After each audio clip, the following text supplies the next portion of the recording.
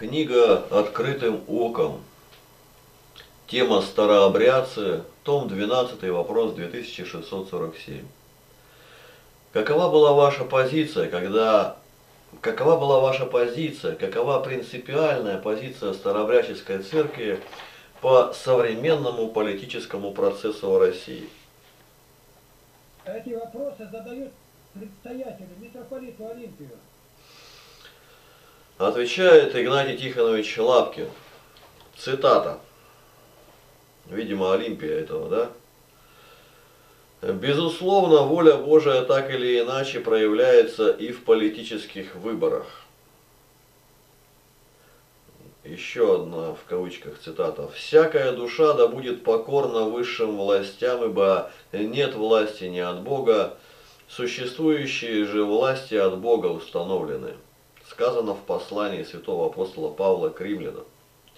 Но в этих словах нет призыва к христианам участвовать в политическом процессе. Наша церковь старается не вмешиваться в вопросы политики. В частности, сам Вонов священники не навязывают прихожанам своих политических симпатий. На исповеди не требуют отчета о том, кто как голосовал. Каждый христианин волен делать выбор, волен делать выбор самостоятельно, в том числе в своем личном участии или неучастии в голосовании. Сегодня в старообрядческих храмах рядом стоят и вместе молятся и те, кто голосует за, и те, кто против, и те, кто против всех, включая и тех, кто на выборы не ходит. Политика не должна отлучать от Бога и раскладывать и раскалывать церковь.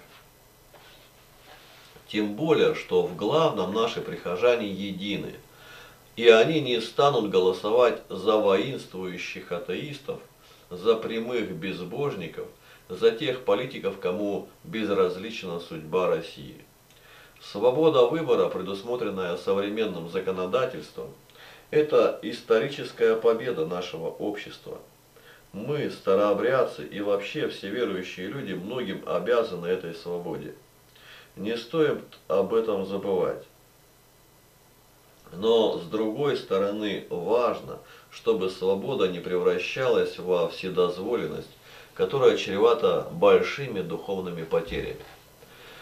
К сожалению, мы это уже видим и как можем боремся с этим. Кавычки закрыты. Игнатий Тихонович Лапкин. История показала, что если нет твердой веры, нет фундамента евангельского, то люди пойдут куда угодно и будут голосовать за кого угодно. Деяние 22.22. До этого слова слушали его, а за ним подняли крик, говоря, «Истреби от земли такого,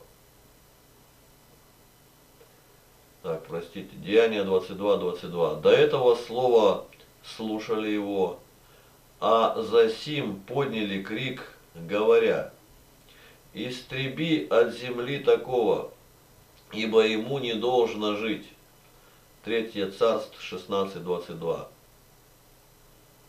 «И одержал верх народ, который за Амрия, над народом, который за Фамния, сына Фанарова, и умер Фамни, и вот сына Ганафова, и умер Фамни, и воцарился Амрий. Судей 9.16. Итак, смотрите, поистине ли и по правде ли вы поступили, поставив Авимелеха царем? И хорошо ли вы поступили с Иераваалом и домом его? И сообразно ли его благодеяниями поступили вы?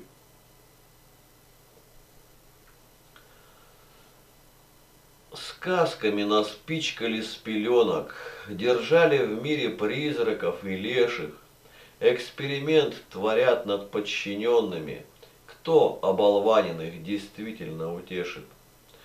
Потом, принявший истину Христову, стал по-иному сказки понимать желание пленных вдруг разорвать оковы, водой живою мертвых поднимать, из Золушки в красавец несказанных чудесно превращаются их личи.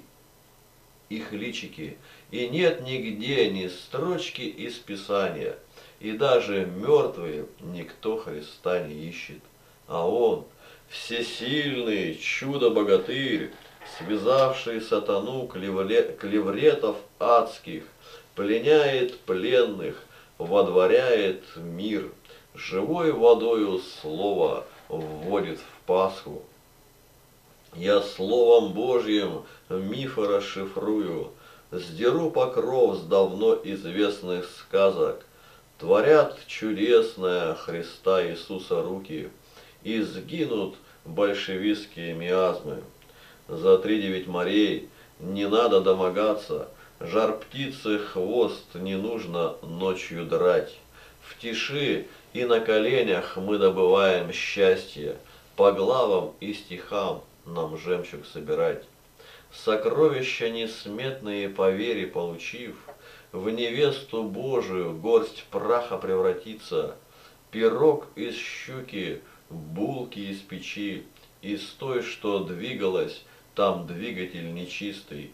Христос и Библия все сказки разрубили, Развели туман пустых желаний, Тьма сказочная там — где не обрящешь Библии, персты неверия, простри крестовым дланям. Мы все участники событий неземных, свершившихся не с кем-то, лично с нами. Царю царей мы дочери, сыны, любовь, Голговский крест, его любовь над нами – 6 февраля 2005 год, Игнатий Лапкин.